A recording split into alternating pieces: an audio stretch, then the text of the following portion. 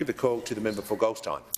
To the Minister for Workplace Relations. Goldstein has 17,000 small businesses, and the government's industrial relations bill captures businesses with a headcount of just 15 plus.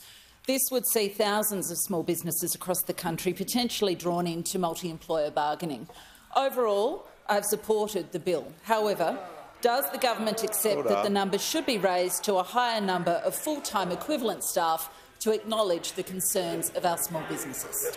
Give the call to the Minister for Employment, Workplace Relations, Minister for the Arts. O- Order. The Deputy Leader of the Opposition will cease interjecting every time a minister starts answering a question. And I give the call to the Leader of the House. Thanks very much, Mr Speaker, and I thank the member for Goldstein for the question. Uh, acknowledge the member uh, for different parts of this bill, particularly on the gender equity parts of the bill, uh, had been an advocate for those, those sections of the bill long before she became uh, a member in this place.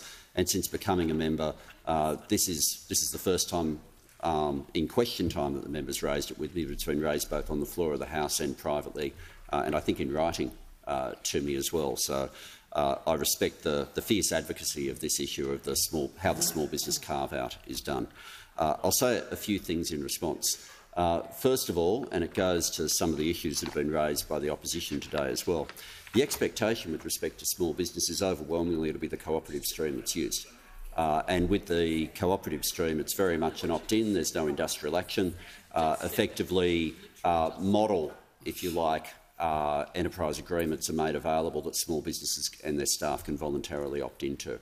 Uh, that involves no fees, no consultants, and we expect overwhelmingly that would be the way that small business would engage with these reforms. With respect to the single interest stream, the small business carve-out that is there at the moment uh, is simply the definition that is already elsewhere in the Act for small business, a definition which those opposite did not seek to change in their entire time uh, in office.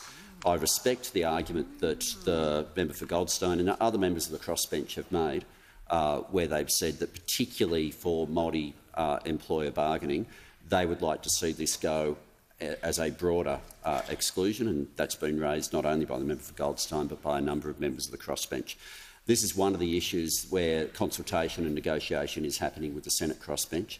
Uh, as I said when we were in the in detail stage, as I said we were in the in detail stage, uh, The Leader of the Opposition will cease interjecting. as I said when we were Member dealing with the in detail stage, so this might be new for those who haven't been paying attention, but not new uh, for those who have.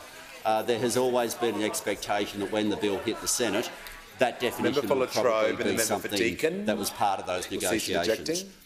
In any broadening of the definition, what I want to be mindful of, and I've said this before, is while occupations such as such as early early childhood educators, uh, who we definitely want to make sure do get the benefit of multi-employer bargaining, uh, that they may start in the supported stream, but effectively, if you look at businesses like, for example, the Victorian childcare centres or early childhood education centres that have already uh, engaged in this, they're now roughly 16 per cent above the award, and they would need a pathway to be able to continue to uh, negotiate. They'd only be able to do that single enterprise stream, and I want to make sure that any expanded definition doesn't carve them out.